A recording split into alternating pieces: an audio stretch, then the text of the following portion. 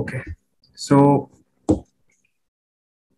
today we'll do potential energy. Last day we studied in the last classes we studied about uh, kinetic energy and uh, discussed that what is kinetic energy, uh, what is energy, what is kinetic energy, how it gets transformed, and everything. Transformation may we haven't studied uh, the energy conservation theorem, which is which is very much important for for this chapter for this chapter energy. So wo end mein padhenge. So base, firstly we'll discuss the types of energies. So kinetic energy we have already done. Uh, we took the last lecture for kinetic energy only. We derived it properly. Ki, uh, how does the formula how how do we get the formula? Then uh, what is kinetic energy? Scalar hai vector hai whatever it is. Then we uh, saw this example yo-yo wala example.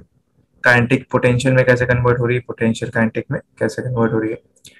And just if you have to describe this in a single sentence then it would be energy possessed by a body due to virtue of its motion okay we did that question also the other day in which there were four option are given you momentum velocity mass तो किस किस के zero होने से होने से kinetic energy zero हो जाएगी।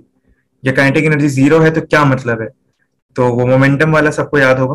मोमेंटम भी ज़ीरो होगा। क्योंकि मोमेंटम भी वेलोसिटी मास पे डिपेंड करता है। मास तो ज़ीरो हो नहीं सकता है। सो so, वो एग्जांपल सबको याद होगा। तो आज नया स्टार्ट करते हैं।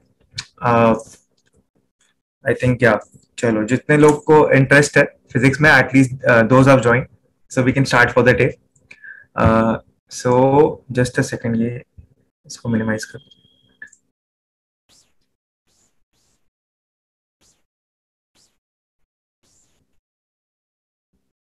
ओके इतना ही है चलो कोई बात नहीं इससे हो जाएगा।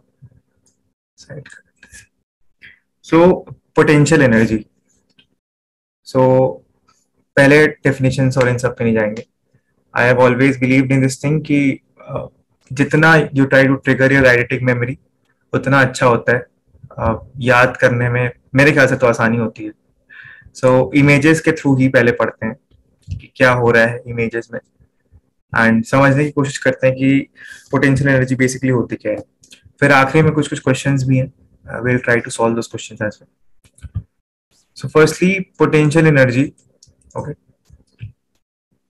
now you can see in the image, there's a hammer. A guy is holding a hammer. He forces the hammer down and then the needle और ये कील जिसको बोलते हैं it goes inside. The pin ठीक? वो अंदर ऐसे चली गई कार्डबोर्ड के अंदर या वट एवर वुडन ब्लॉक वो भी कह सकते हैं। सो so, अभी यहाँ पे तीन स्टेजेस में दिख रहा है हमको पोटेंशियल काइनेटिक मैकेनिकल ठीक? तो मैकेनिकल को बता देते हैं होता क्या मैकेनिकल कुछ नया एनर्जी नहीं है एनर्जी ही है कुछ नया नहीं है। It's just sum of potential and kinetic energy जब दोनों चीज़ कंजर्व हो जाती है तो वही मैकेनिकल एनर्जी हो जाती है। एनर्जी कंजर्वेशन थ्योरम भी इसी चीज़ पे बेस्ड है। तो वही mechanical energy potential kinetic that is mechanical energy sum दोनों का। ठीक है? विच इज़ ऑलवेज कॉन्स्टेंट क्योंकि वो ना डिस्ट्रॉय हो सकती है एनर्जी और एक चीज़ और जो एनर्जी कंजर्वेशन थ्योरम भले ही we not shutting it today but just remember this fact always that it can neither be created not be destroyed it can just be transfer from one form to another okay then there it is your first image as you can see if it is not visible i'll enlarge it but i hope that it is visible.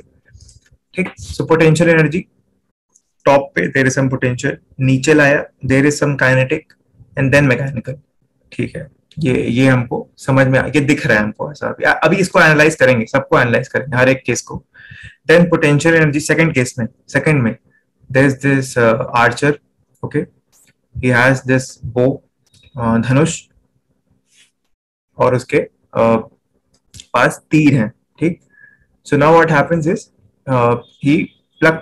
between thread between the thread of the bow and this between the head of the bow pulls it backward and then release is it now the second image is that it has been transform into kinetic energy तो potential से kinetic में transform हुई, ठीक? और ऐसा यहाँ पे दिख रहा है हमको कि ट्रांसफॉर्म हो रही एनर्जी डिस्ट्रॉय हो नहीं सकती एनर्जी ना ही क्रिएट हो सकती है it can just be transformed ठीक है? तो दो इमेजेस तो दिख गई हमको, कि हाँ ऐसा क्यों हो रहा है? और ऐसा क्यों हो रहा है ये नहीं पता हमको अभी, ये हम डिस्कस कर लेंगे। बट ये इमेज में दिख रहा है कि कुछ ऐसा हो रहा है कि एक टाइम पे पोटेंशियल है और एक टाइम पे पोटेंशियल काइनेटिक बन जा रही है। कभी काइनेटिक पोटेंशियल बन जा रही है तो ऐसा क्या है? कुछ कुछ तो होगा ऐसा कि ये सब किस वजह से हो रहा है? ठीक तो चलो आओ और थोड़ा आगे बढ़ते हैं।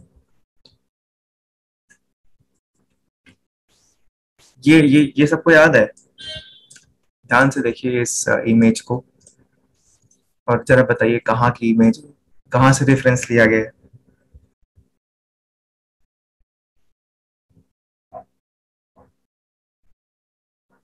सब साइंस है। और ये अभी से नहीं है, ये बहुत पहले से सब चलता आ रहा है।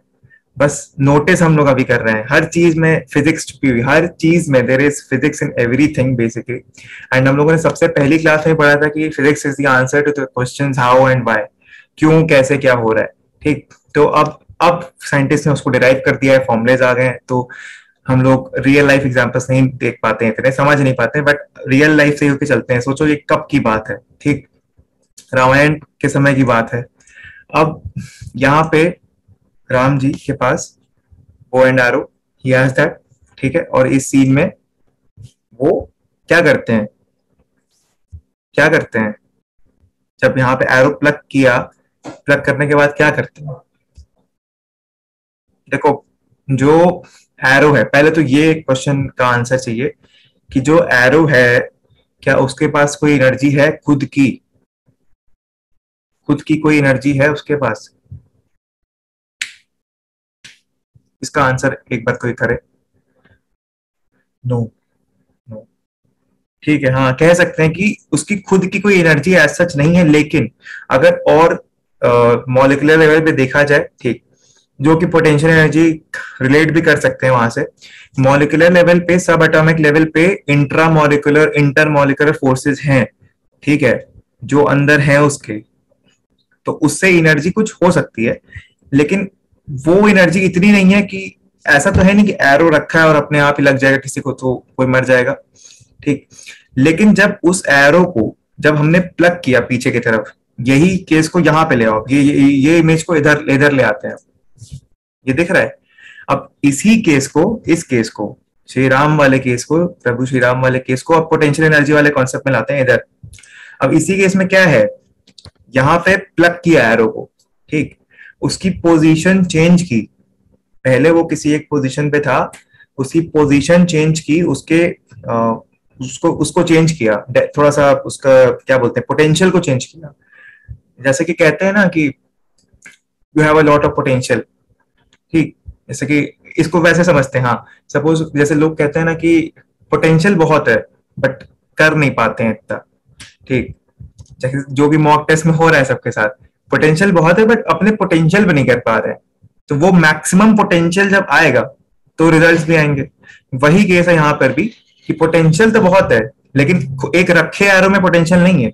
है पोटेंशियल एटॉमिक लेवल पे पोटेंशियल है उसके पास भी। ठीक, अगर एक रखे एरो पे जाके पैर रख दोगे तो चुभेगा। उसका जो हेड है, वो चुभेगा। ठीक है तो पोटेंशियल उसके पास भी है। लेकिन उससे अगर कुछ एक्स्ट्रा हम उसको और देंगे एनर्जी तो उसका पोटेंशियल मैक्सिमम हो जाएगा। ठीक है तो सपोज़ करो कि इसको मैक्सिमम स्ट्रेच कर दिया एकदम एकदम मैक्सिमम स्ट्रेच कर दिया और जितना खींच सकते थे। मतलब इतना करना है कि ये इसका थ्रेड ना टूटे बो का। मैक्सिमम स्ट्रेच कर दिया, फिर रिलीज़ किया। तो अब क्या है, उसका मैक्सिमम पोटेंशियल उसको गेन कर लिया था। अब वो पोटेंशियल जैसे ही वो एरो रिलीज़ हुआ, जैसे ही एरो रिलीज़ होगा रिलीज़ होते ही उसका पोटेंशियल काइनेटिक में बदलने लगेगा। क्योंकि उसका पोटेंशियल इस पोजीशन पर, एक मिनट मेरा stylus have to bring just just a second I bring the stylus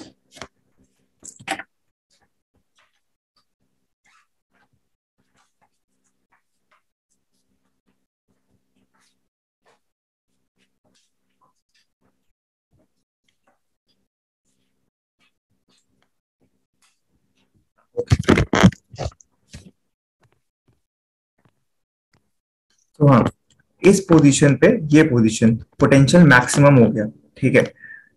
real life में देखा जाए और इसको जनरल टर्म्स में तो ये भी कह सकते हैं कि हाँ यार, इस इंसान का पोटेंशियल मैक्सिमम था, तब जाके इसने इसको इसको, इसमें मॉक में हाईएस्ट स्कोर किया या इसने सिविल्स में हाईएस्ट स्कोर किया। इसने अपने मैक्सिमम पोटेंशियल पे काम किया, तब ऐसा हो पाया है, ठीक? तो यहाँ पे इसका पोटेंशियल हो गया मैक्सिमम ठीक?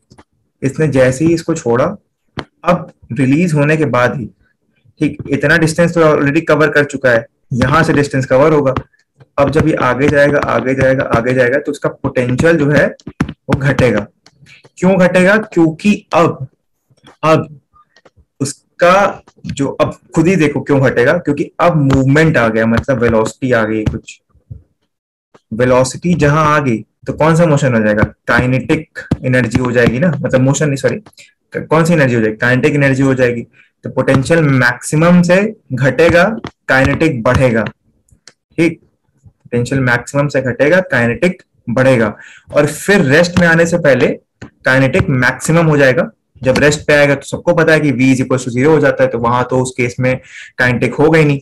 जैसे कि वही लास्ट क्लास में शायद श्रुति ने बोला था। सो उसका आंसर यही था कि हम लोग लेते ऐसा है कि just before hitting the ground या just before coming to rest उस समय की जो वेलोसिटी होती है उसके हिसाब से देखेंगे तो काइनेटिक एनर्जी होगी। बट अगर हम ये बोल दें कि जैसे ही वो टच कर गया ग्राउंड पे, तब तो वी ज़ीरो हो गई ना फिर।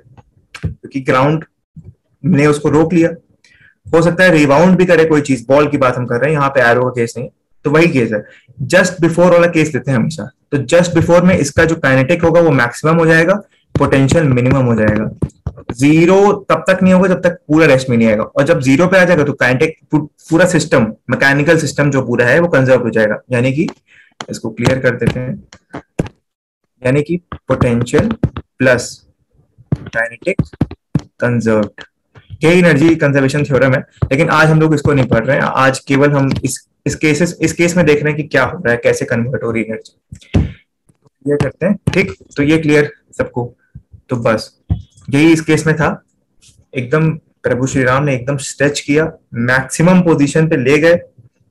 पूरा जितना उसकी स्ट्रेंथ हो सकती थी, जितने उनके पास, उनके फोराम की स्ट्रेंथ थी, जितना उनके बो की स्ट्रेंथ थी। बिफोर ब्रेकिंग वो जितना खींच सके, खींचा, छोड़ा। काइनेटिक एनर्जी में कन्वर्ट हुआ, जाके लगा, खत्म। ठीक है? तो अब यहाँ पे ये नो का आंसर क्या? अच्छा वो अच्छा पिछले क्वेश्चन का आंसर है। हाँ ठीक है। नो ही होगा वैसे पोटेंशियल लेकिन हाँ कुछ इंट्रामोलिकुलर फोर्सेस हैं, कुछ कुछ एनर्जी तो सबके अंदर होती है। अगर मैं भी अभी बैठा हूँ यहाँ पे तो ठीक है, मेरी काइनेटिक एनर्जी नहीं है, लेकिन मेरी पोटेंशियल कुछ ना कुछ तो है। मेरे अंदर कुछ ना कुछ चल ही रहा है। एंड थोड़ा हाइट पे भी हूँ तो हाँ पोटेंशियल भी है ही, क्योंकि कुछ वर्क डन करके ही ऊपर आया है यहाँ पे। अगर और ऐसा नहीं कि ग्राउंड फ्लोर वालों की कोई एनर्जी नहीं है। वो ग्राउंड फ्लोर पे रहते हैं तो ग्रेविटी तो लगी रही है ना कांस्टेंट हमेशा। तो हमेशा कुछ ना कुछ काम हो रहा है। बॉडी के अंदर भी हो रहा है और कुछ लेकिन उसको बहुत नेग्लिजिबल ले सकते हैं। अगर हम लोग केवल एक्सटर्नल की बात करेंगे तो इंटरनल तो नेग्लिजिबल है। ठीक? तो ये कॉन्सेप्ट सेम कॉन्सेप्ट इधर था। ये आ, हैमर वाले केस में। रेस किया। अब अगर इस हैमर को अगर इस हैमर को यहाँ से मारे। इस जगह से। ठीक। सपोज़ करो ये एच हाइट है। Height from the wooden block. ये एच बाई टेन हाइट है। एच बाई टेन क्या है? छोटा है। एच बड़ा है। तो सिंपल बात है कि जब जितना ऊपर जाएँगे, उतना जब लाएँगे तो ज़्यादा इम्पैक्ट पड़ेगा। और इसमें भी क्या है, इसमें कम इम्पैक्ट पड़ेगा। लेकिन, हो सकता है कि इसमें भी पिन अंदर चली जाए, लेकिन ज़्यादा अंदर नहीं जा पाएगी। इस केस में मैक्सिमम पोटेंशियल पे हम आ चुके हैं। ठीक, हम अगर एक हैमर ले रहे हैं, इसको पूरा एकदम ऊपर तक ले जा रहे हैं। उसके बाद नीचे ला रहे तो मैक्सिमम हम गेन कर चुके हैं पोटेंशियल अब उसको कन्वर्ट करेंगे, जब स्ट्राइक करेंगे तो वही कैनेटिक में बदल जाएगा, जबकि यहाँ पे हो रहा है कैनेटिक में बदल गया। और ये टोटल सिस्टम कंजर्व हो जाता है।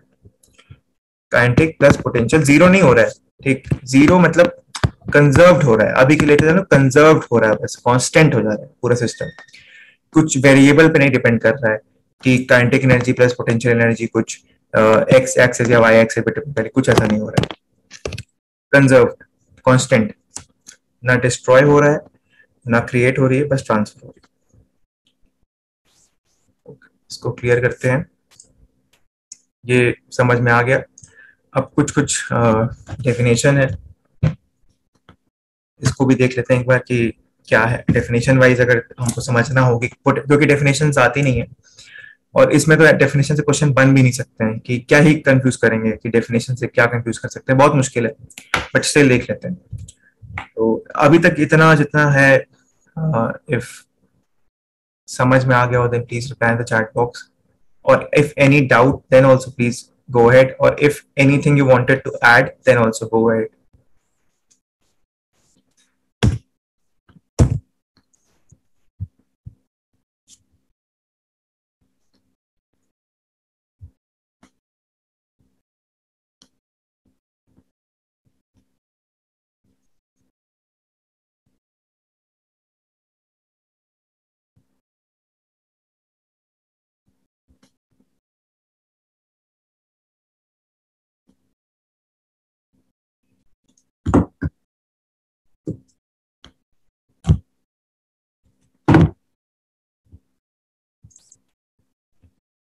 Thank you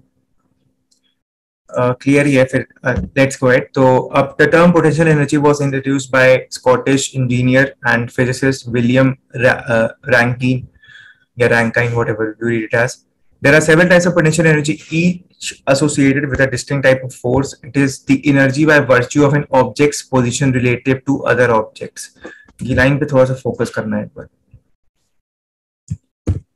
it is the energy by virtue of an object's position relative to other objects, ठीक। तो अगर हम लोग एक चीज़ देखें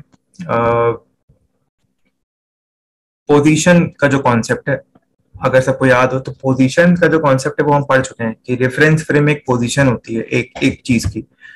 अगर एकदम स्टार्टिंग की क्लास में जाएँ तो ये अगर याद होगा सबको तो रेफरेंस फ्रेम पे, ये रेफरेंस फ्रेम है, यहाँ पे सपोज़ अभी एक्स एक्स एक्सेस दिख रहा है वाई भी सपोज़ करते हैं। रेफरेंस फ्रेम में एक पोजीशन होती है, हर एक ऑब्जेक्ट की, हर एक पार्टिकल की ऑब्जेक्ट की सिस्टम की एक पोजीशन होती है, ठीक? तो अगर हम उस रेफरेंस फ्रेम में लें तो उस फ्रेम में, ठीक, अगर हम एक थ्री फ्रेम लेते हैं टू फ्रेम लेते हैं, जिसमें उस फ्रेम में एक पोजिशन है, किसी एक की, इस इंसान की ये पोजिशन है, इस इंसान की ये पोजिशन है, दो लोग की पोजिशन दिख रही है हमको यहाँ पे। ठीक अब दोनों की पोजीशन में कुछ कुछ अंतर, अभी हम या इस केस से नहीं समझा सकते हैं, क्योंकि ये एक्स एक्सिस पे है। एक हम डायग्राम बनाते हैं, हम लोग विल ट्राई कि उस डायग्राम को समझने की कोशिश करते हैं कि पोजीशन पे कैसे डिपेंड कर रहा है। रिलेटिव टू पोजीशन लिखा है ना इस डेफिनेशन में, ये कहा गया?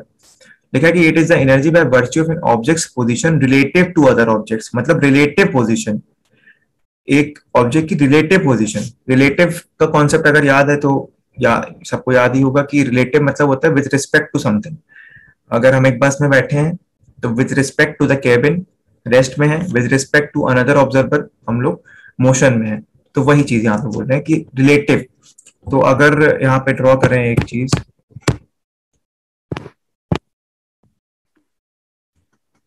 हैमर वाला केस ही ले सकते हैं. ठीक. तो पोजीशन को हम लोग आर नॉट से, वैसे बेसिक इनिशियल पोजीशन को हम लोग आर नॉट से डिफाइन करते हैं आर नॉट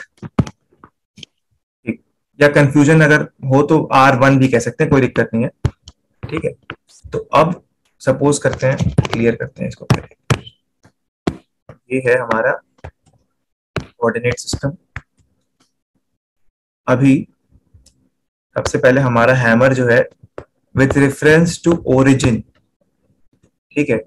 या कह सकते हैं कि मान लो कि कोई ऑब्जर्वर खड़ा है यहाँ पे। और ये इनर्शियल फ्रेम अच्छा ये नॉन इनर्शियल और इनर्शियल फ्रेम शायद नहीं पढ़ा है। बट ठीक है इनर्शियल फ्रेम वो होता है जिसमें एक्सलेशन कांस्टेंट होता है। हम लोग साथ ही में उसके चलते हमने ये, वो याद होगा ना कि जिसके साथ चलते हैं, वो वाला कॉन्सेप्ट जो बताया था, उसके रिस्पेक्ट में हमेशा रेस्ट में रहता है। तो इनर्शियल फ्रेम है इनर्शियल फ्रेम से कुछ कंफ्यूजन आई होप नहीं हो रहा होगा। इनर्शियल फ्रेम है एक्सलेशन कॉन्स्टेंट है, मानते हैं कि साथ में सब लोग चल रहे हैं। यहाँ पे, ये ऑब्जर्वर है कोई जो कि उसी फ्रेम में खड़ा है। अब यहाँ पे फ्रेम में खड़ा है, इसका मतलब ये नहीं कि यहाँ पे I have to draw this here only just suppose कि this is all one frame तो अभी यहाँ पे हैमर रखा है। हैमर भी हटा देते हैं। Let's take a brick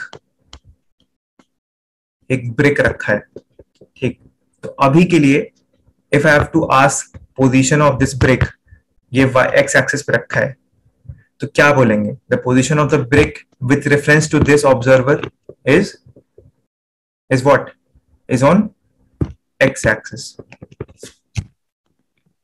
X axis now I या someone else releases this brick upwards. इसको क्लियर करना पड़ेगा यार। जगह नहीं यहाँ पे इतनी।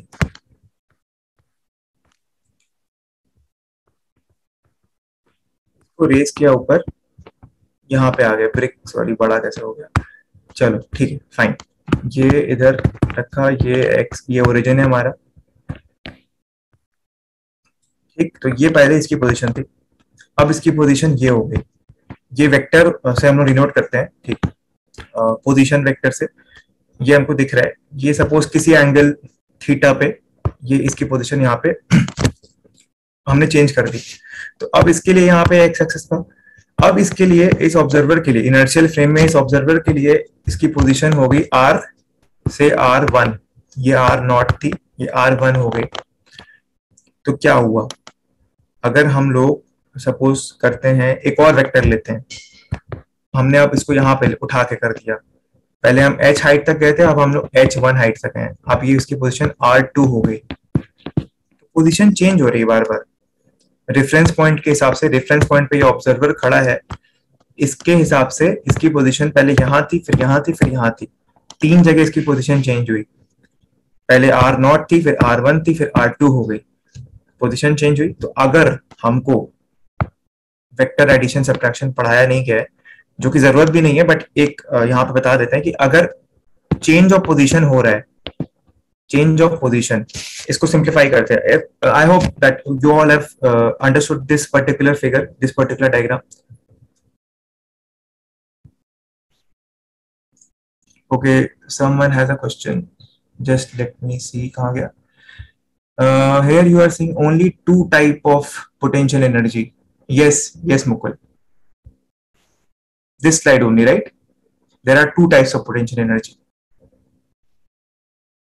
we are taking the general scenario जिसमें ऐसा होता है, वैसे आई हैव ऑलरेडी टोल्ड कि इंटरनल प्रोसेस और वो वाली चीज़ें जो हमारे इंटरनल मैकेनिज्म उसका मैंने I have mention an example in the further slides as well so if you want to add something then please do add that what were you trying to say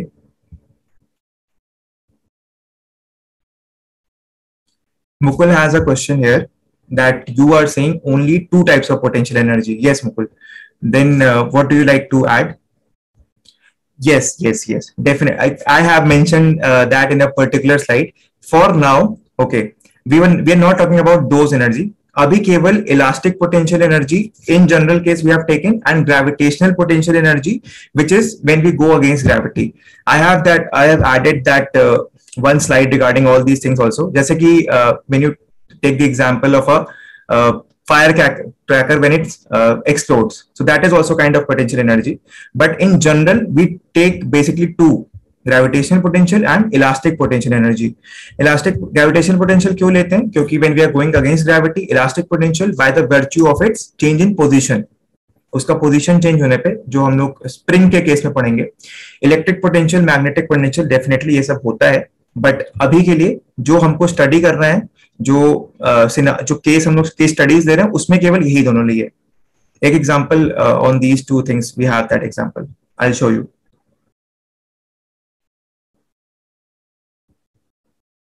I hope it is clear और anything else you want to add fine thank you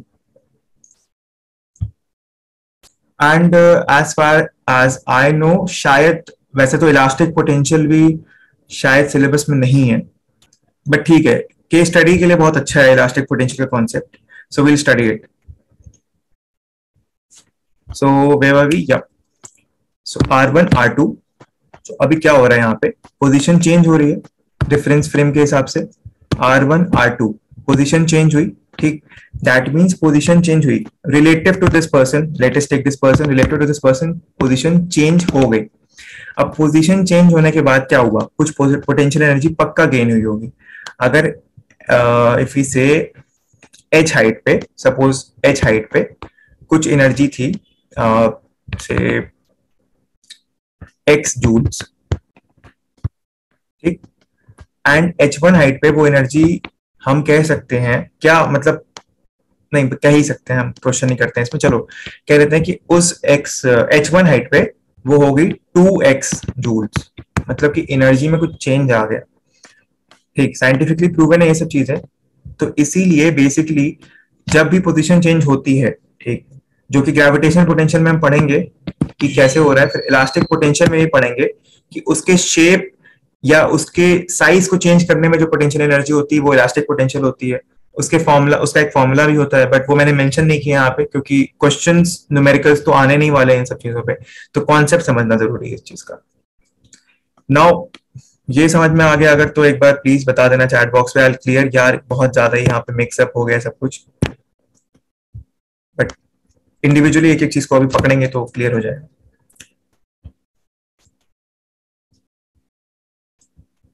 ठीक है? Okay okay. So as we know that object can store energy in, as a result of its position, ये भी दिख रहा होगा यहाँ पे कि result of its position से एक uh, energy store होती है. In the case of a bow and an arrow, then when the bow is drawn, it stores some amount of energy which is responsible for the kinetic energy it gains. Similarly, in the case of a spring, when it is displaced from equilibrium position, it gains some amount of energy which we observe in the form of stress we feel in our hand upon stretching it. We can define potential energy as a form of energy that results from the alteration of its position और state तो यही position यहाँ पे दिखा दिया था। अरे यार। सॉरी ये तो पोजीशन और स्टेट जो चेंज हो रहा है, वो हमने दिखा दिया कि पोजीशन चेंज हो रही है किस चीज़ की। तो मतलब उसकी पोटेंशियल एनर्जी कुछ है, ठीक है? And as I already mention and Mukul has also mention कि यहाँ पे आई हैव बीन रिटन कि there are only two types but yes case studies जो हम लोग लेंगे, जो रेलेवेंट है वो ग्रेविटेशनल पोटेंशियल है इलास्टिक पोटेंशियल है। बाकी उसके अलावा इलेक्ट्रोस्टैटिक मैग्नेटिक पोटेंशियल तो there are also these kind of energy but हम लोग का जो जिधर कॉन्टेक्स्ट है जो हम लोग के सिलेबस के हिसाब से आई थिंक इससे ज़्यादा शायद ज़रूरत नहीं होगी। सो पोटेंशियल एनर्जी सो अभी इलास्टिक पोटेंशियल एनर्जी क्या होती है?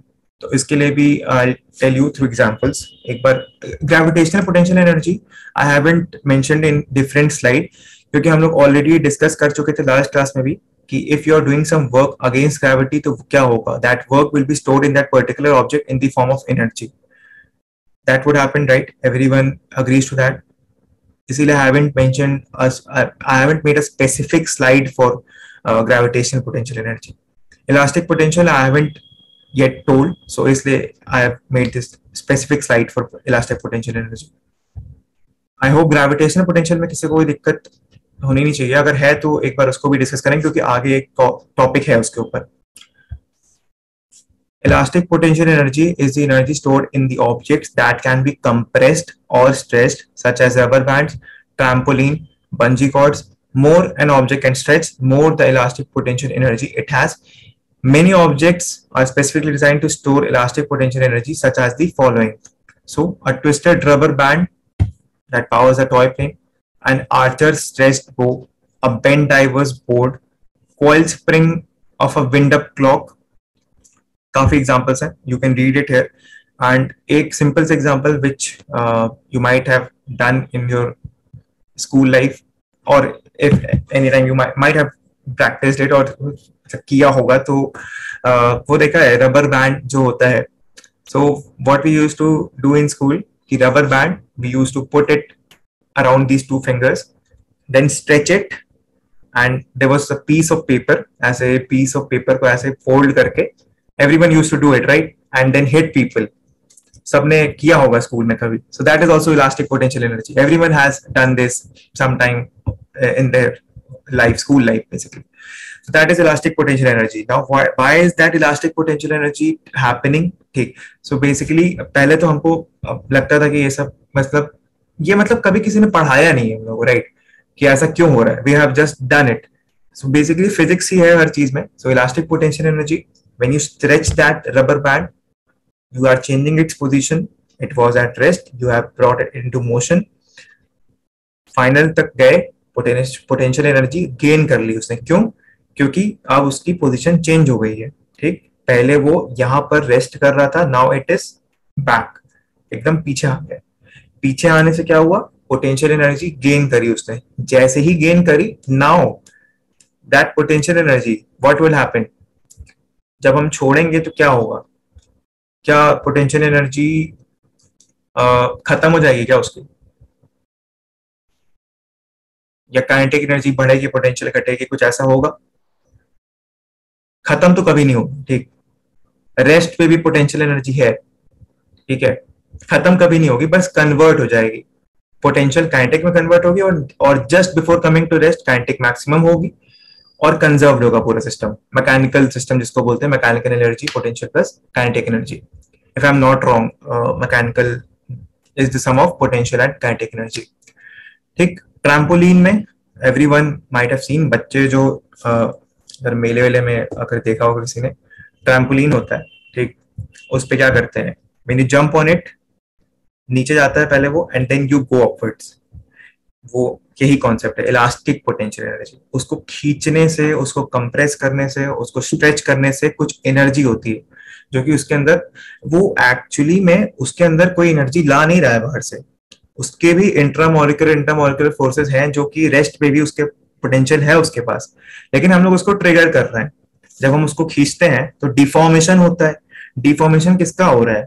डिफॉर्मेशन जो हो रहा है, हम ये तो नहीं कह सकते कि हम एक एक एटम को डिफॉर्म कर रहे हैं। We can not say this कि हम एक एक एटम को डिफॉर्म कर दे रहे हैं। बट ओवरऑल अगर हम देखें तो जब किसी चीज़ को खींच रहे हैं या कंप्रेस कर रहे हैं तो then there are these forces intermolecular which gets hampered the the shape of that suppose अगर एक एक एग्जांपल ले लेते हैं। चलो इस चीज़ का भी। सपोज़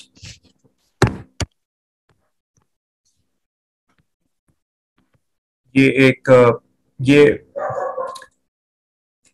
एक स्प्रिंग के अंदर का, ठीक है? एक स्प्रिंग के अंदर का I trying to make the inter the molecular forces and the atoms inside a spring ठीक है?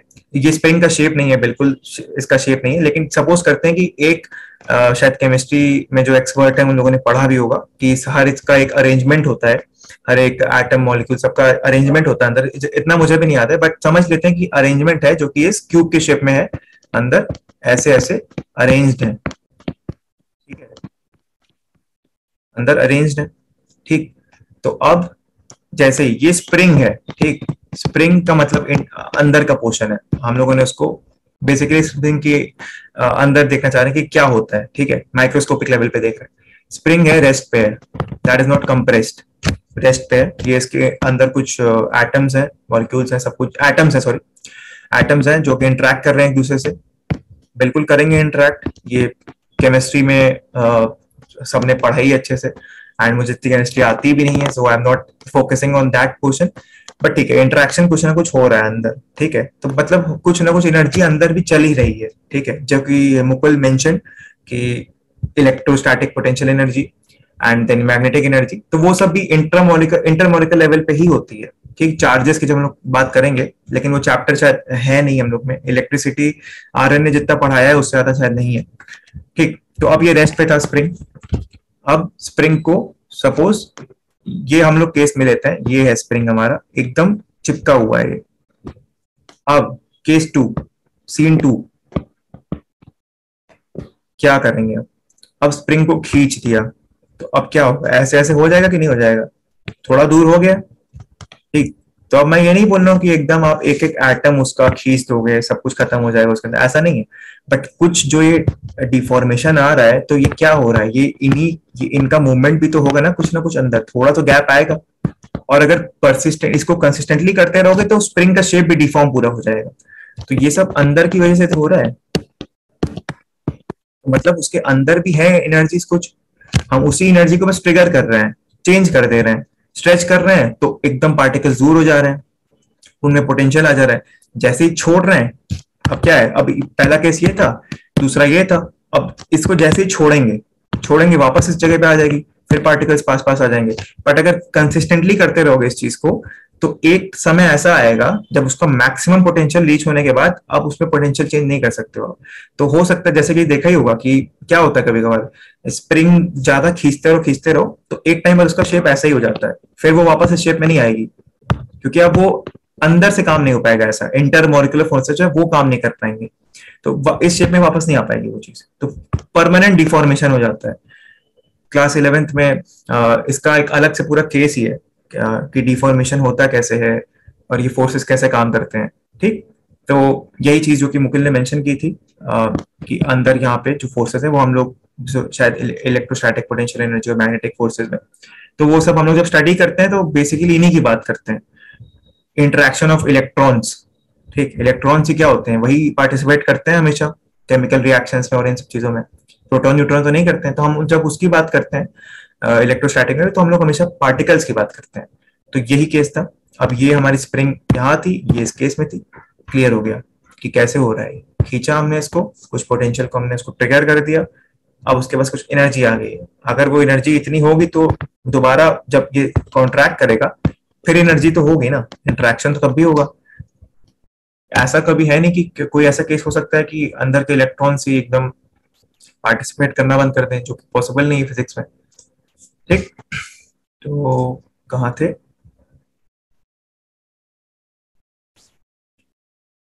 सो ग्रेविटेशन पोटेंशियल ये हो गया। ये इलास्टिक पोटेंशियल हो गया। इसमें किसी को कोई डाउट है देन प्लीज़ पूजा है certain kinetic increase yes yes जब हम लोग उसको मैक्सिमम पोटेंशियल पे, ऐसे पहले तो जब खींचेंगे, तब पोटेंशियल बढ़ रहा है हमारा। ठीक, उसका हम इंटरेक्ट कर रहे हैं। जैसे ही छोड़ेंगे तो मूवमेंट होगी।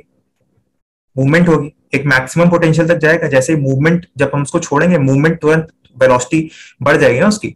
और वेलोसिटी से जो चीज़ हो रही है, वो क्या है? काइनेटिक एनर्जी है। By the virtue of its motion ठीक? तो वो काइनेटिक एनर्जी हो जाएगी। उस केस में बढ़ जाएगी काइनेटिक अभी तक किसी को कुछ अगर डाउट है या फिर something if someone wants to add then please do add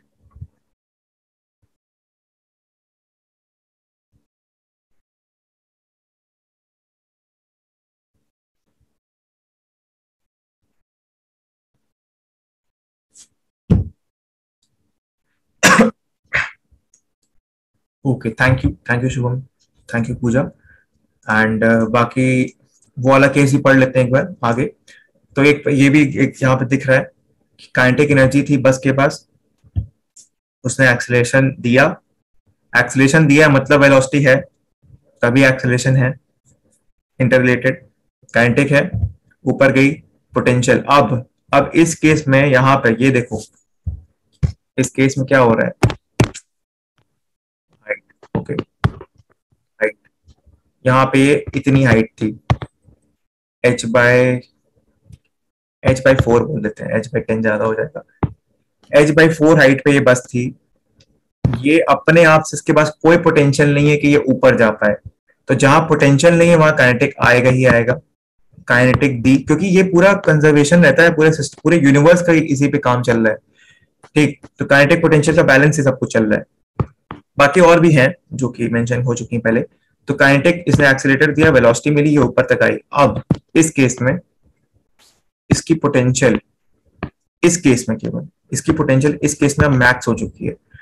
ये काइनेटिक यहाँ पे आके पोटेंशियल में कन्वर्ट हो चुकी है, इस केस में इसकी पोटेंशियल मैक्सिमम हो चुकी है। अब अगर यहाँ से ये अपनी बस की की निकाल दे, फेंक दे कहीं पर, ठीक, ये खाई में इसने की फेंक दी, ठीक एंड छोड़ दे बस को, वो नीचे जाएगी बगैर किसी एक्सीटर के। क्यों? क्योंकि पोटेंशियल गेन हो चुका है। काइनेटिक तो यहाँ पे आके खत्म हो गई उसकी बस रुकी यहाँ पे। अब उसने क्या किया? कुछ नहीं। बस हल्का सा एकदम, समझ लो कोई इंसान यहाँ हल्के से एकदम बस छू दिया। क्योंकि एकदम ये, क्या बोलते हैं उसको, ब्रिम हो गया, एकदम एज पे। इसको बस छूना है, अपने आप ही नीचे जाएगी और फिर इसकी पोटेंशियल काइनेटिक में बदल जाएगी। तो देखो क्या हो रहा है, पूरा सिस्टम कंजर्व हो रहा है। काइनेटिक पोटेंशियल काइनेटिक ठीक? फिर आगे जो रुकेगी तो काइनेटिक ज़ीरो फिर टोटल सिस्टम कंजर्व हो जाएगा। तो यहाँ पे अपने आप ही नीचे आ जाएगी। ये तो देखा भी है ढलान पे अगर कोई कभी साइकिल चलाता है या फिर देखा होगा कि बाइक पे अगर कहीं ढलान पे है तो हम लोग बंद कर देते हैं बाइक को कि तेल और ना खाए बाइक। इंजन ना यूज़ हो हमारा तो हम छोड़ देते हैं कि हाँ आप जो है अपने पोटेंशियल से बाइक चली जाएगी हमको कुछ नहीं करना पड़ेगा। तो वही चीज़ है पोटेंशियल काइनेटिक में बदल गई। एग्ज़ाम्पल था क्लियर हो गया एकदम सिंपल एग्ज़ाम्पल अब देखो यहाँ पे जो आ, मुकुल ने जो मेंशन किया था, वो यहाँ पे मेंशन है, ठीक है? मैंने यहाँ पे अलग से मेंशन किया इस चीज़ को ताकि ये कंफ्यूजन ना हो जाए किसी को कि अरे, और भी तरीके की पोटेंशियल एनर्जी होती हैं। तो बिल्कुल होती हैं। तो यहाँ पे क्या लिखा है? Potential energy stored is the stored energy held by an object because of its relative position, electric charge, और internal stress, ठीक? इंटरनल स्ट्रेस ये चीज़ भी ध्यान रखना, ठीक? अगर ऐसा नहीं कि कोई इंसान बैठा हुआ है तो हम ये कह देंगे कि या कोई चीज़ पड़ी हुई तो हम बोलेंगे पोटेंशियल उसकी एकदम ही ज़ीरो है। इंटरनल कुछ हो रहा है उसके अंदर, तभी उसकी पोटेंशियल है। क्योंकि एक पत्थर भी अगर कहीं ज़मीन पर पड़ा है, अगर ऐसा तो है नहीं कि पत्थर को हम जब एकदम टॉप पे ले जाएँगे और गिराएँगे किसी चीज़ पे, तभी उसका पोटेंशियल एकदम मैक्स होगा और कोई चीज़ टूटेगी। ये केस अलग है कि हाँ अगर को डैमेज जितना करना है उसके हिसाब से डिपेंड करता है। तो अगर एक पत्थर है, उसको हम इतनी हाइट पे भी लाएँगे अगर ये पत्थर, यहाँ पे एक पत्थर मैं अपने हाथ से उठा के यहाँ पर लाऊं and I keep my keep my hand beneath the stone और द ब्रिक तो मेरे हाथ पे डैमेज होगा। थोड़े से हाइट पे भी डैमेज होगा, थोड़े कम हाइट पे भी होगा, लेकिन कम डैमेज होगा। तो इंटरनल स्ट्रेस भी उसका होता है। पत्थर से आके लड़ जाओ कभी तो पता चल जाएगा कि क्या होता है। इलेक्ट्रिक चार्ज उससे भी होता है। अब ये डायनामाइट का केस देखो। ठीक। यहाँ पे आप देखो केमिकल पोटेंशियल एनर्जी का एक एग्ज़ाम्पल देखते हैं जैसे मान लो डायनामाइट के अंदर तो ऐसा तो है नहीं। अब यहाँ पे क्या है कि क्या हमें डायनामाइट को क्या हम कहीं एकदम हाइट पे जाकर रखेंगे तभी वो एक्सप्लोर करेगा क्या? या ऐसा तो है नहीं कि हमको एकदम टॉप मोस्ट हाइट पे रखेंगे तभी ये डायनामाइट फटेगा ऐसा कुछ नहीं, हमने तुरंत सुतली पे आग लगाई and as soon as it catches fire अंदर जाता है केमिकल रिएक्शन होते हैं। रिएक्शन में कौन पार्टिसिपेट करता है? Electrons as I already informed electrons participate करते हैं पोटेंशियल उसका एनर्जी जितना होता है ब्लास्ट होता है। ब्लास्ट होते ही उसके पार्टिकल्स बोलते हैं ना कि वो क्या बोलते हैं उसको हिंदी में? इलाहाबाद में इट्स वेरी फ़ेमस पर अच्छे उड़ गए शायद। Something like that right so एकदम क्या होता है कि ब्लास्ट हुआ केमिकल एनर्जी केमिकल रिएक्शंस हुआ इलेक्ट्रॉन्स अपने काम किया, फटा एंड उसके एक एक पार्टिकल्स एक एक उसका जो वो होता है, कभी जैसे ये भी दिवाली में कभी किया होगा कि एक पटाखे को किसी बॉल के अंदर किसी डब्बे के नीचे दबा दिया तो क्या होता था? डब्बा एकदम उड़ जाता था। क्योंकि क्या होता है? काइनेटिक पोटेंशियल काइनेटिक में चेंज हो गई। स्ट्रेस स्प्रिंग का एग्जांपल दिख ही रहा है सबको। बैटरी बैटरी किस पे काम करती है? यहाँ पे इलेक्ट्रोस्टैटिक भी ला सकते हैं। बैटरी के अंदर तो बारूद वारूद नहीं डालेंगे ना। बैटरी के अंदर तो सिंपल काम है इलेक्ट्रॉन्स का। तो यहाँ पे इलेक्ट्रोस्टैटिक का काम आ गया। रेस्ड ऑब्जेक्ट ड्रॉन वो, ठीक है? हर चीज़ डिस्कस कर ली यहाँ पे। मैक्सिमम जो कि इंपॉर्टेंट था, वो डिस्कस हो गया। ठीक है? तो आप किसी को कंफ्यूजन नहीं होगा कि इलेक्ट्रोस्टैटिक और वो सब क्यों नहीं मेंशन किया? वो इसीलिए नहीं मेंशन किया क्योंकि वो है नहीं रिलेवेंट इतना। समझ में आ गया होगा तो एक बार जरा सा प्लीज़ चैट पे रिप्लाई कर देना सब लोग कि कुछ डाउट नहीं है। या किसी कुछ ऐड करना है तो वो भी प्लीज़ तुरंत ऐड करें। क्योंकि आई डोंट वांट कि I miss out on something and वो चीज़ एग्ज़ाम में आ जाए। क्योंकि that would be very harmful for me as well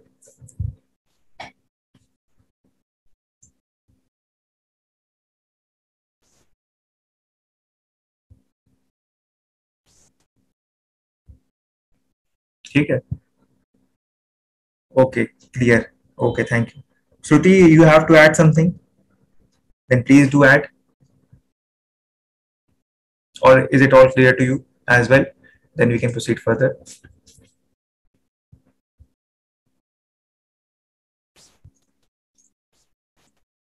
Okay thank you चलो।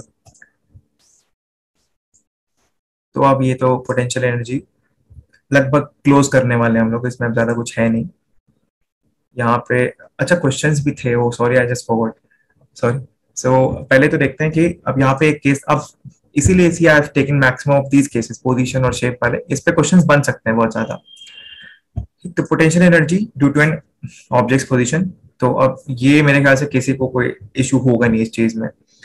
एक बॉल है, उसको उठा के ले गए ऊपर, उसके बाद पोटेंशियल एनर्जी थी ड्रॉप किया काइनेटिक में बदल गई पोटेंशियल एंड ये कंजर्व रहेगा हमेशा। क्यों रहेगा कंजर्व यहाँ पे पोटेंशियल काइनेटिक में बदलेगा काइनेटिक पोटेंशियल में बदलेगा। अगर बॉल रिबाउंड करेगी तो फिर रिवर्स केस होगा।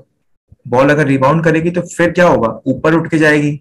यहाँ से ऊपर जाएगी तो फिर किसी एक सर्टेन हाइट तक जाएगी। तो उस केस में वहाँ उसकी वो मैक्सिमम एनर्जी होगी पोटेंशियल फिर नीचे आएगी तो पुट, फिर पोटेंशियल ज़ीरो हो जाएगी। ठीक? एंड ये जो यहाँ पे मैंने लिखा है कि let's derive the formula for potential energy ये तुरंत से एक बार कर लेते हैं इसको। और एक कॉन्सेप्ट और देना है। जल्दी से करके फिर दो क्वेश्चन डिस्कस करके क्लास ओवर करते हैं।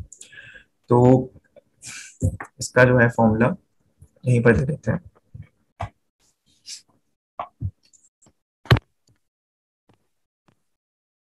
तो अभी तक हम लोगों ने क्या पढ़ा है कि work done is equals to force into displacement ठीक है?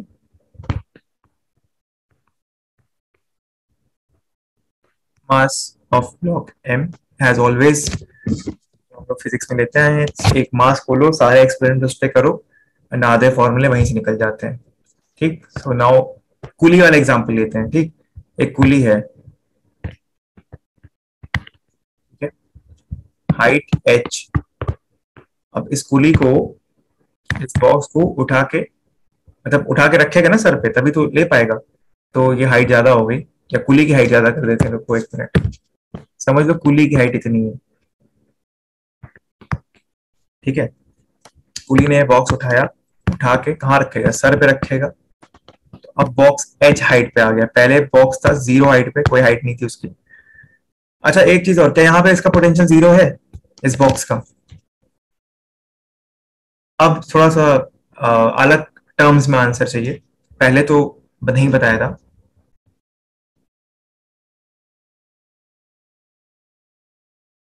इस बॉक्स का इस समय क्या पोटेंशियल है? कुछ होगा नॉन ज़ीरो है ज़ीरो है लेस देन ज़ीरो है ग्रेटर देन ज़ीरो है, क्या है?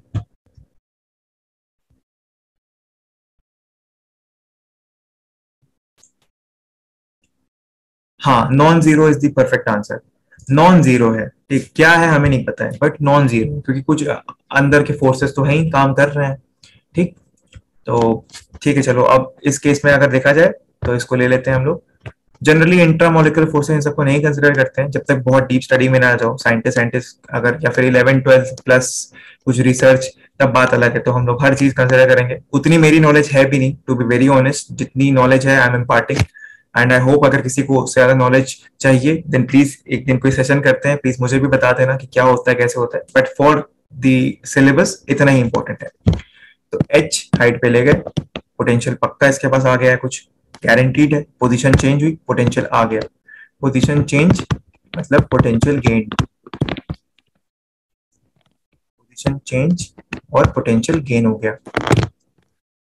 अब एक चीज़ को तो हम श्योरिटी से कह सकते हैं कि इस बॉक्स पे एक फोर्स ऐसा है, जो कि हर समय अप्लाई हो रहा है। चाहे वो रेस्ट पे हो, चाहे वो यहाँ पर हो, चाहे वो यहाँ पर हो, चाहे वो मेरे स्क्रीन के बाहर ही क्यों ना बट वो फोर्स हमेशा लगेगा। तो कौन सा फोर्स है वो? ग्रेविटेशनल फोर्स ये हमेशा लगेगा, ठीक? नीचे ये लग रहा है, आप इसको ऊपर ले जाने की कोशिश कर रहे हैं तो अगर वर्क डन निकालें इस केस में हम लोग तो क्या होगा? फोर्स फोर्स क्या है? इनटू क्या? Displacement H is equal to M G H M G H यानी कि this is the formula for potential energy plastic potential का अलग फॉर्मूला होता है ठीक? वो आ, हम लोग यहाँ पे मैंने जानबूझकर मेंशन नहीं किया है। उसका फॉर्मूला वैसे हाफ़ के स्क्वायर उसका होता है ठीक? लेकिन ये दोनों फॉर्मूला सेम है डायमेंशनली सेम है बस केसेस अलग हैं। वहाँ पे हम लोग रेज वेज नहीं कर रहे हैं ऑब्जेक्ट को वहाँ पे हम कंप्रेस कर रहे हैं स्ट्रेच कर रहे हैं। यहाँ पे हम लोग अगेंस्ट ग्रेविटी काम कर रहे हैं तो यहाँ पे ये फॉर्मूला लगेगा, ठीक? तो ये हो गया पोटेंशियल पोटेंशियल एनर्जी का फॉर्मूला जल्दी से इसको खत्म करते हैं आज। एक बस ये लास्ट कॉन्सेप्ट फिर दो क्वेश्चन सात मिनट और है।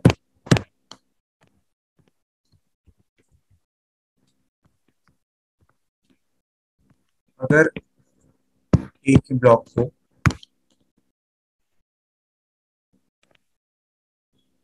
मुझे इस हाइट तक ले जाना है। एच वन एच टू ठीक। तो पहले तो ये बताओ, क्या H one equal to H two या चलो इसको हटाओ। इसको क्लियर करते हैं। डायरेक्ट पॉइंट पे आते हैं।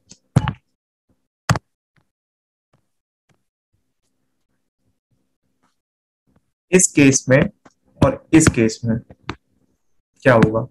क्या पोटेंशियल एनर्जी दोनों की बराबर होगी? या M G H two will be greater than M G H one या वाइस वर्सा एंड या none of the above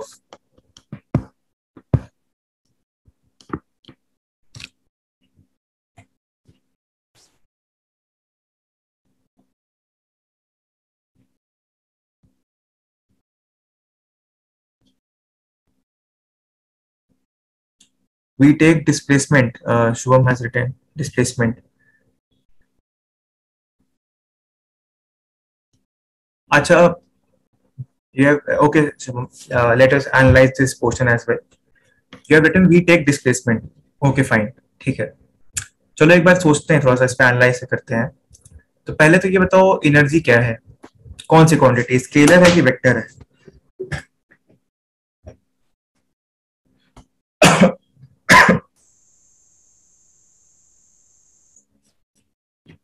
please everyone write in the chat box energy क्या है?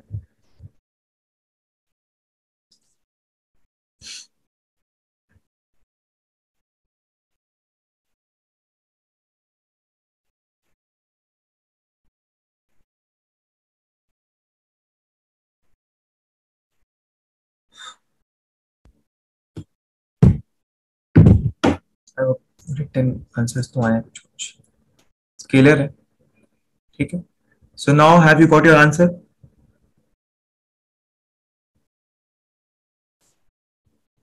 Shubham, now have you got your answer? Are, are you getting this point?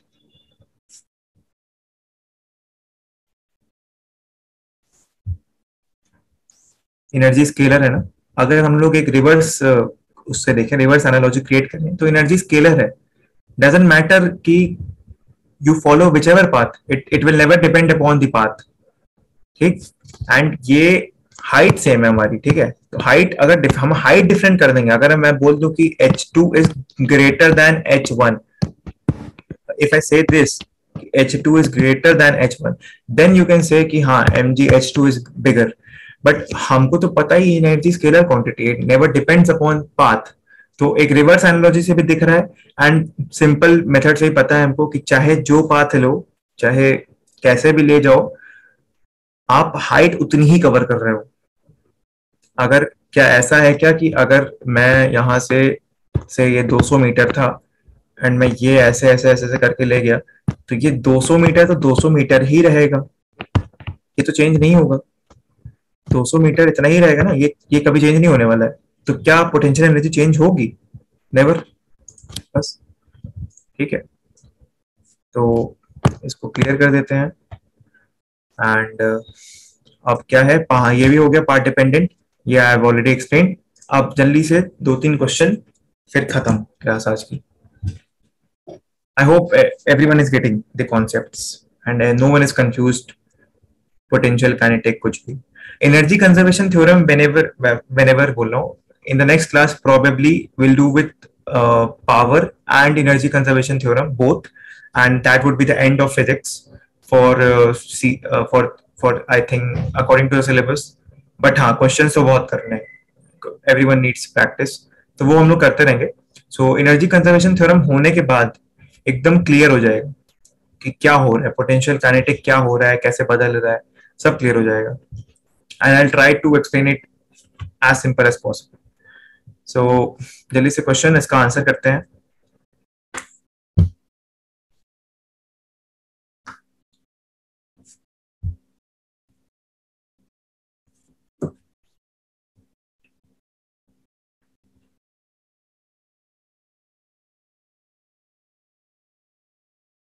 answer I'm waiting.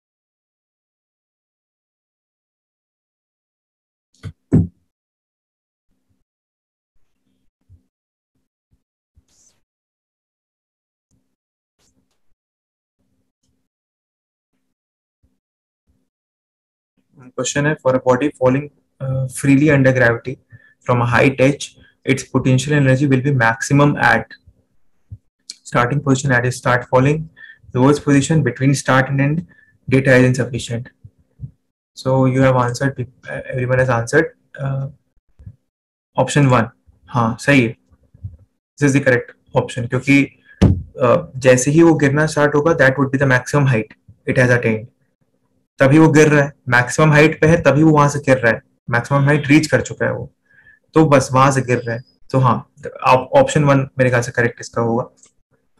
फिर next question yes if down then kinetic obviously potential घटेगा kinetic बढ़ेगा and before it strikes the ground kinetic energy maximum हो जाएगी before it strikes and as soon as it strikes zero क्योंकि हम consider करेंगे कि जैसे ही वो स्ट्राइक कर रही है, उसकी वेलोसिटी ज़ीरो हो रही है। तो बस वही केस है। इसका एक डायग्राम तो बहुत अच्छा सा if I get it I add it in the next class एक नेक्स्ट क्वेश्चन पहले कर लेते हैं. During object free fall which of the following energies increases at one point in its path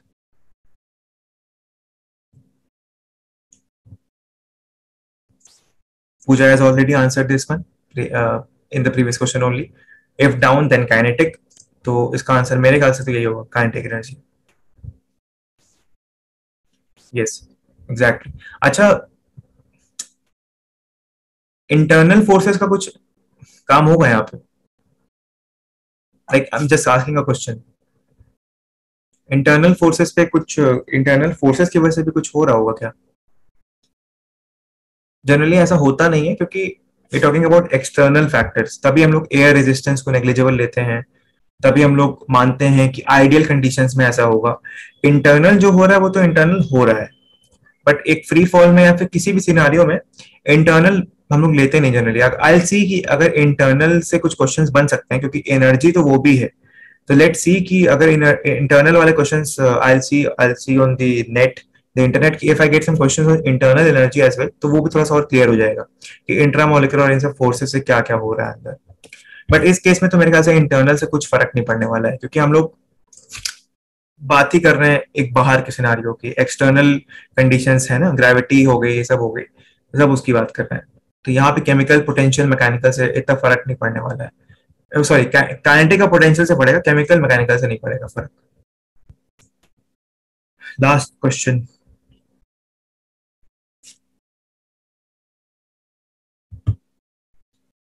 तीन बज गया है। चलो, एक मिनट और, बस।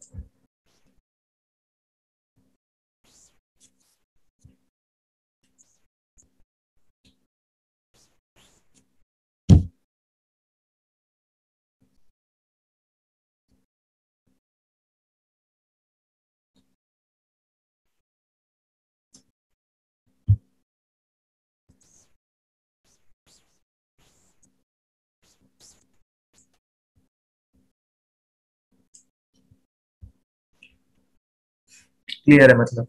सबको क्लियर हो गया है आई थिंक अब डाउट इस चीज़ में नहीं आएँगे। क्लियर है? तो what when does the potential energy of a spring increase तो केवल ये नहीं कह सकते कि कंप्रेस में बढ़ रही है स्ट्रेच में बढ़ रही है। ईदर ऑफ़ द केसेस में। स्प्रिंग अगर कंप्रेस्ड है या स्ट्रेच्ड है, दोनों ही केसेस में बढ़ सकती है। बढ़े ही मतलब बढ़ सकती है। ठीक? इसीलिए यहाँ पे लिखा है व्हेन स्प्रिंग इज़ कंप्रेस्ड और स्ट्रेच्ड इस पे और भी बहुत अच्छे अच्छे क्वेश्चंस थे लेकिन वो क्वेश्चंस बगैर वर्क एनर्जी थ्योरम या कंजर्वेशन ऑफ़ एनर्जी थ्योरम के हो नहीं पाएँगे। एंड थोड़े वो मेरे ख्याल से जितना आते हैं एग्ज़ाम में उस लेवल के क्वेश्चन थे नहीं उससे बहुत हाई लेवल थे। सो so, इसलिए आई हैवंट एडेड बेसिकली वही क्वेश्चन डाले जितने की ज़रूरत है। ठीक है? एंड किसी को अगर और क्वेरी है इस चीज़ पे या जानना है सो so, डिस्कस कर सकते हैं कभी भी इस चीज़ के ऊपर कि इंटरनल पोटेंशियल एनर्जी से क्या इफ़ेक्ट पड़ सकता है, क्या चेंजेस हो सकते हैं। आज की क्लास में बस इतना ही। Thank you everyone and recording stop कर सकते हैं।